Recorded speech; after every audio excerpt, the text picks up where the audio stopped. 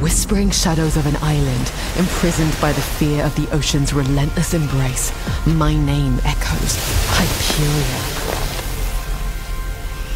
But as I gaze upon those birds who fly so freely, a blazing beacon of inspiration ignites within me. If they can conquer the vast skies, so can I.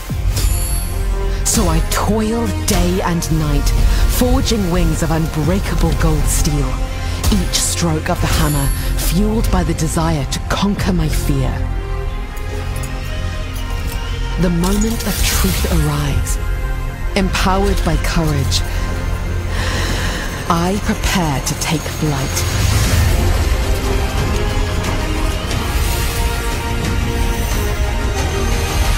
And in that moment, I found my fearless. So there you have it, Thorpe Park have released a story behind Hyperia. Something about somebody called Hyperia taken to the skies at Thorpe Park.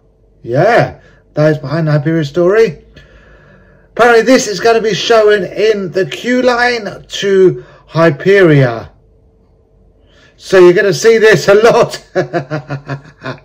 what do you think of it? It's a little story. It's a minute long. Yes, all right, isn't it? Let me know in the comments. Three weeks today, Hyperia will be open. Let's go. Make sure you subscribe to the channel and smash the like on the video. Can't wait to ride Hyperia. First reactions will be available on the channel. So make sure you subscribe.